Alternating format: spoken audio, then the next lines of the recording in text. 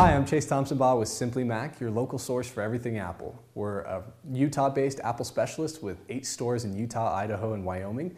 And today we're going to show you some more quick tips on the iPad that I know you're just going to love. Now I'm going to show you how you can connect up your iPad to your Slingbox.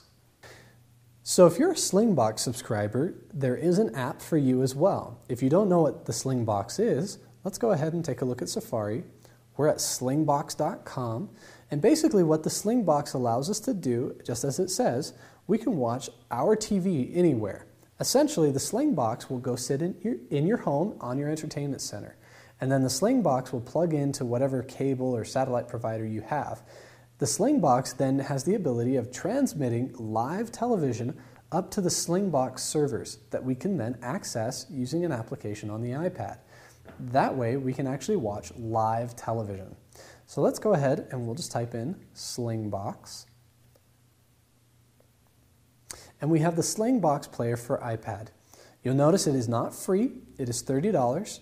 And basically what it allows us to do is we can view any of the streams the Slingbox is recording or just viewing.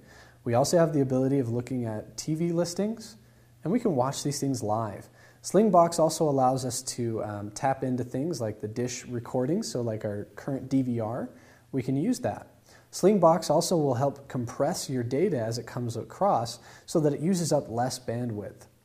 Now, just so you know, this is only for iPad right now. It's not for iPhone. So it's something that we iPad users can use. iPad users or iPhone users will get to you soon. But it's a fantastic application if you want to go ahead and get the Slingbox player and set it up.